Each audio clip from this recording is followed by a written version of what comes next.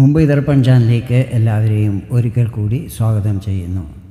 നിങ്ങൾ ഈ ചാനൽ ഇതുവരെ സബ്സ്ക്രൈബ് ചെയ്തിട്ടില്ലെങ്കിൽ സബ്സ്ക്രൈബ് ചെയ്യാൻ അഭ്യർത്ഥിക്കുന്നു. ഒപ്പം അടുത്തുള്ള ബെല്ലൈക്കണിൽ ക്ലിക്ക് ചെയ്യുക അപ്പോഴെന്റെ പുതിയ വീഡിയോയുടെ നോട്ടിഫിക്കേഷൻസ് നിങ്ങൾക്ക് ലഭിക്കുന്നതായിരിക്കും. ഇനി നമുക്ക് ഇന്നത്തെ വീഡിയോയിലേക്ക് കടക്കാം. വർഷം രണ്ടായിരത്തി ഇരുപത്തി മൂന്ന് ജൂൺ ഇരുപത്തി ഒന്നാം തീയതി ഉച്ചയ്ക്ക് ഏകദേശം ഒന്നേകാൽ മണിക്ക് വ്യാഴം നക്ഷത്രമാറ്റം ചെയ്തിരിക്കുകയാണ്. മേടം രാശിയിൽ കേതുവിന്റെ നക്ഷത്രമായ അശ്വതിയിൽ നിന്നും ശുക്രന്റെ നക്ഷത്രമായ ഭരണിയിലേക്കാണ് വ്യാഴം പ്രവേശിച്ചിരിക്കുന്നത്. വ്യാഴത്തിനെ ഗുരു ബൃഹസ്പതി ജൂപ്പിറ്റർ എന്ന പേരിലും അറിയപ്പെടുന്നുണ്ട്. ഗുരു ഇവിടെ രണ്ടായിരത്തി ഇരുപത്തി മൂന്ന് നവംബർ ഇരുപത്തിയേഴാം തീയതി വരെ നിൽക്കുന്നതായിരിക്കും. കേതുവിന്റെ ആധിപത്യത്തിലുള്ള അശ്വതി നക്ഷത്രത്തിൽ ഗുരു പൂർണ ഫലങ്ങൾ നൽകാൻ സാമർഥ്യനല്ലായിരുന്നു. ഇതിന് കാരണം ഒപ്പം രാഹു നിന്നതും അവിടെ ഗുരുചണ്ടാള ദോഷം നിർമ്മിതമായതും ആയിരുന്നു. ഈ നക്ഷത്രമാറ്റം നടക്കുന്നത് രാഹുവിന്റെ അംശബലം കുറയ്ക്കാനും അതോടൊപ്പം ഗുരുവിന്റെ അംശബലം കൂടാനും ഇടയാക്കുന്നതായിരിക്കും.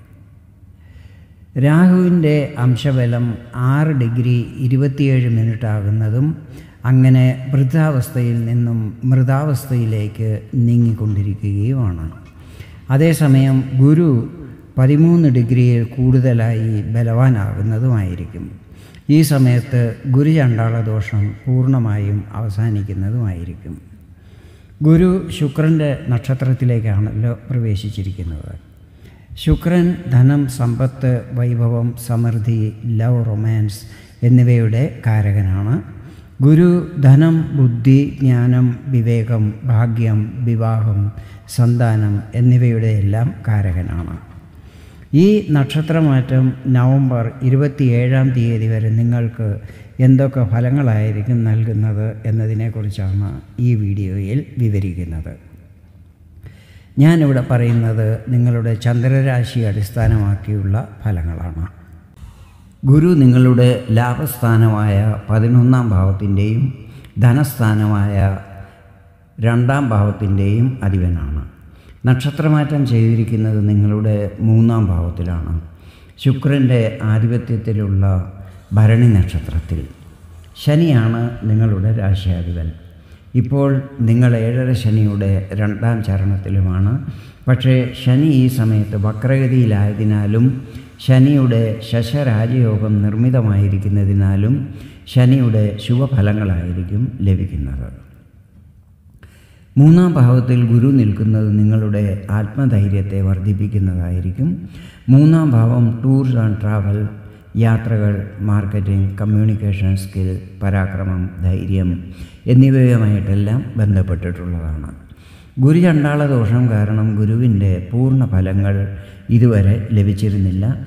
പക്ഷേ ഈ ദോഷം ഇപ്പോൾ മാറിയിരിക്കുന്നതിനാൽ ഗുരുവിന്റെ പൂർണ ഫലങ്ങൾ നിങ്ങൾക്ക് ലഭിക്കുന്നതായിരിക്കും.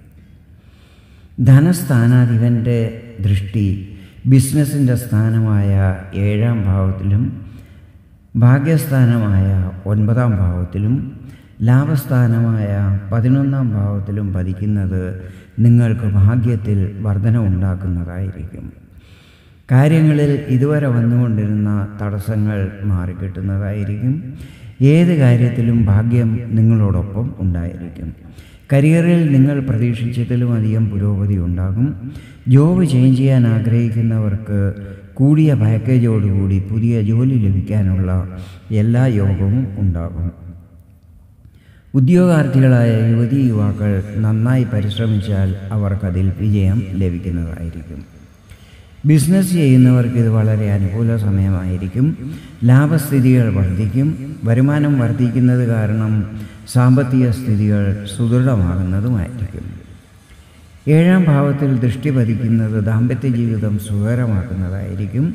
അതുപോലെ വിവാഹം കഴിക്കാൻ ആഗ്രഹിക്കുന്നവർക്ക് അതിൽ വന്നിരുന്ന തടസ്സങ്ങൾ മാറിക്കിട്ടുന്നതുമായിരിക്കും. കുംഭം രാശിക്കാരോട് ഒരു കാര്യം പറയാനുള്ളത്.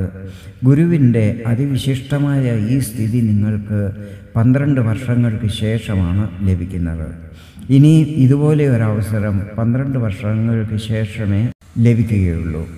അതായത് ലാഭസ്ഥാനാധിപന്റെയും ധനസ്ഥാനാധിപന്റെയും ഭാഗ്യസ്ഥാനത്തും ലാഭസ്ഥാനത്തും ദൃഷ്ടി പതിക്കുന്നത് ഈ സമയത്തും പ്രശ്നങ്ങൾ ഉണ്ടാകുന്നവർ ജാതകത്തിൽ നിങ്ങളുടെ മഹാദശ അന്തർദശ എന്നിവ ചെക്ക് ചെയ്യുന്നത് നല്ലതായിരിക്കും.